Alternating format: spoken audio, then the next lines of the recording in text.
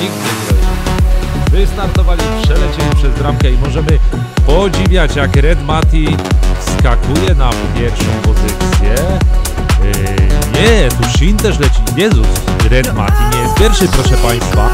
Dwóch pierwszych zawodników, trzech praktycznie, Kirek, Shin i Red Mati. Hubert y, z tyłu, y, Shin jest y, pierwszy, za nim jest Red Mati, który nie, nie wytrzymał presji, a zaraz za nim jest Kirek, który też nie wytrzymał presji, proszę Państwa. I Shin jako pierwszy, co on zrobił? Czy on się przepiął z panem dronem na mózgi? Tego nie wiemy.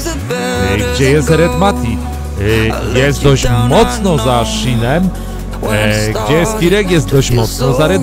Wszyscy są dość mocno za sobą. Hubert, no Hubert się już tu może nie liczyć, ale trzymajmy za niego kciuki.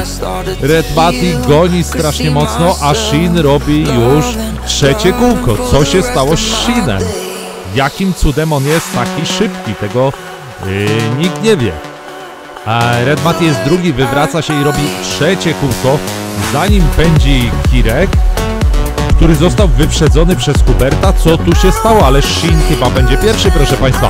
Tak, Shin jest już bardzo blisko. Red Mati nie ma do niego podjazdu i tak, Shin kończy pierwszy, niszczy wszystkich przeciwników.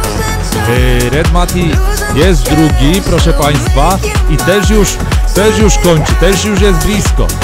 I trafił na drugie miejsce i walka między Kirkiem a Kubusem tych dwóch zawodników jest bardzo blisko siebie i planują to w jakiś sposób skończyć.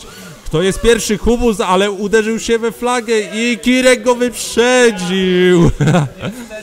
A było tak blisko. Tam gdzie jego miejsce. Nic się nie stało. Tym razem byłem przygotowany.